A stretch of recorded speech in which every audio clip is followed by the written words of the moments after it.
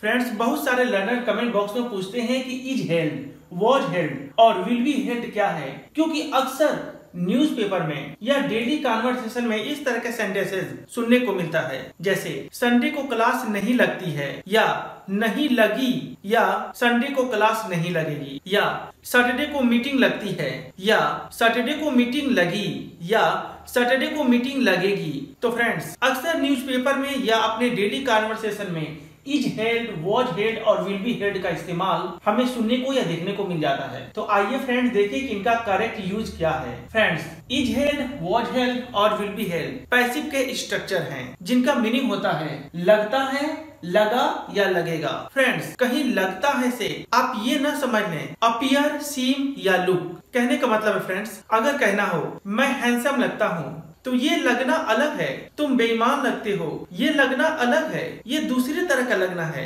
लेकिन यहाँ पर लगता है, लगा या लगेगा मीन्स रखा गया, से है।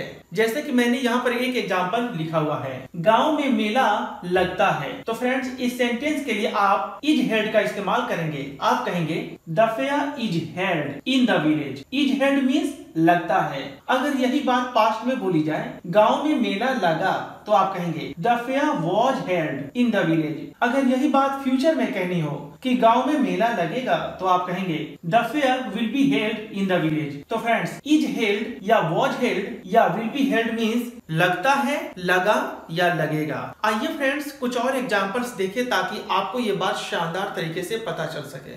रविवार को अंग्रेज़ी की क्लास लगती है। तो फ्रेंड्स, आप इस सेंटेंस के लिए कहेंगे English class is held on Sunday अगर ये सेंटेंस पास्ट में हो, जैसे, रविवार को अंग्रेज़ी की क्लास लगी तो आप कहेंगे English class was held on Sunday अगर ये सेंटेंस फ्यूचर में रहे, जैसे, रविवार को अंग्रेज़ी की क्लास लगेगी तो आप कहेंगे English class will be held on Sunday friends, अगर लिखा हो मेरा स्कूल सुबह में लगता है तो आप कहेंगे my school is held in the morning अगर कहना हो, मेरा स्कूल संडे को लगा तो आप कहेंगे my school was held in the morning मेरा स्कूल सुबह में लगेगा तो आप कहेंगे my school will be held in the morning आइए फ्रेंड्स लास्ट एग्ज़ाम्पल देखते हैं। फ्रेंड्स आमतौर पर इज़ हेल्ड का इस्तेमाल हम meeting exams class school fair seminar और मैरिज जैसे वर्ड्स के साथ करते हैं। जैसे, हमारा परीक्षा मार्च में लगता है। आप कहेंगे our exam is held in March अगर आपको कहना हो कि हमारा परीक्षा मार्च में लगा, यानी पास्ट में बोलना हो तो आप कहेंगे our exam was held in March अगर फ्यूचर में बोलना हो